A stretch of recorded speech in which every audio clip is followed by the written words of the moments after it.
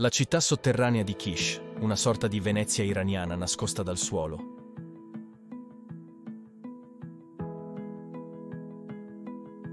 Vi abbiamo provocato appositamente. Per quanto Venezia non conosca rivale a livello globale, perché di una bellezza unica, delicata e preziosa, condivide con altri luoghi il fatto di essersi elevata dal punto di vista politico, culturale ed economico, grazie ad un elemento naturale come l'acqua. Ed è proprio su tale piano che accostiamo la città sotterranea di Kish alla Serenissima.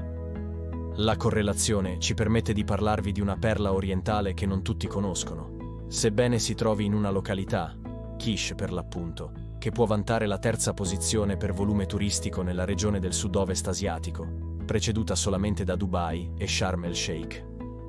L'isola di Kish si affaccia sulla costa meridionale iraniana, bagnata dalle acque del Golfo Persico, essendo una zona di libero scambio, gode di una popolarità turistica e finanziaria quasi senza eguali.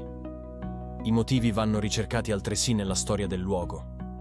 Gli abitanti di Harire, di cui oggi permangono solamente delle rovine in superficie, ben consci dell'ambiente arido, all'incirca due millenni e mezzo or sono, iniziarono a scavare sottoterra con il chiaro intento di costruire un acquedotto, detto Kariz, Attorno all'infrastruttura si sarebbe sviluppata una cittadina, dotata di poli per il commercio e per la potabilizzazione delle acque.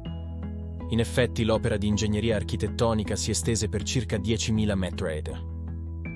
La zona crebbe ancor di più con la connessione dei pozzi, raggiungendo addirittura i 14 km di grandezza.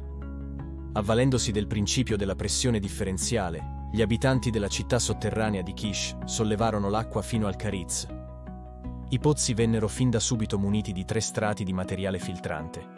Ghiaia corallina, graniglia mista ad argilla ed infine marna, anch'essa una specie di argilla più spessa. Il sistema era così complesso e funzionale da garantire, in base alla profondità presa in esame, acqua per i più disparati utilizzi. Il Cariz permise la conduzione dell'acqua fino in superficie, assicurando l'irrigazione dei campi.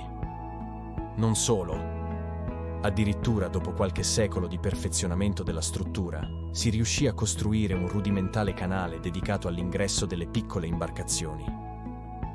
Queste potevano imbarcare anfore colme d'acqua ed uscire dalla città sotterranea. Come si può evincere da queste informazioni, sorprendente è il grado ingegneristico toccato. Eppure non ci si spiega il perché del successivo abbandono. Pensate che è solamente nel 1999 che l'autorità iraniana ha pulito gli antichi ingressi ristrutturando gli interni per quanto possibile. Quest'ultimo atto ha trasformato completamente il vecchio Kariz, il quale oggi funge da centro commerciale esteso. Al suo interno si possono trovare negozi d'ogni genere.